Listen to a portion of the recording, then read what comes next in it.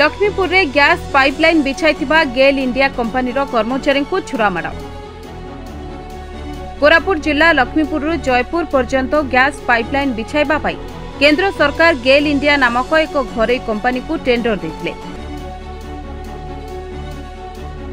କିଛି ମାସ ହେବ କମ୍ପାନୀ ପାଇପ୍ଲାଇନ୍ ବିଛାଇବା ଆରମ୍ଭ କରିଥିବା ବେଳେ ପାଇପ୍ଲାଇନ୍ କିଛି ଚାଷୀଙ୍କ ଚାଷ ଜମି ଦେଇଯାଇଛି ଅନ୍ୟପଟେ ଉକ୍ତ ଚାଷୀମାନଙ୍କୁ କମ୍ପାନୀ ତରଫରୁ କୌଣସି କ୍ଷତିପୂରଣ ଦିଆଯାଇ ନଥିବା ବେଳେ କମ୍ପାନୀକୁ ବିରୋଧ କରି ଆସୁଛନ୍ତି ଗ୍ରାମବାସୀ ଏନେଇ କିଛି ଦୁର୍ବୃତ୍ତ ଶନିବାର ରେଲୱେ ନିକଟରେ ରହୁଥିବା ଗେଲ୍ ଇଣ୍ଡିଆ କମ୍ପାନୀର ଜଣେ କର୍ମଚାରୀ ଆର୍ପି ସିଂଙ୍କୁ ଛୁରୀରେ ଆକ୍ରମଣ କରିଥିବା ଦେଖିବାକୁ ମିଳିଛି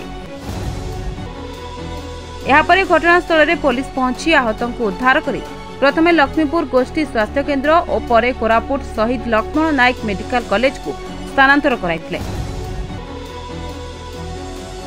अनेपटे घटना को नहीं पुलिस निज आड़ एक मामला रुजु कर तदंत करने कि କିଛି को थाना ଅଟକ ରଖିଥିବା ଜଣାପଡ଼ିଛି अपने स्टाफ से मिला वहाँ से जब मैं गाड़ी पैक करके निकला तब तक एक बलेरो पर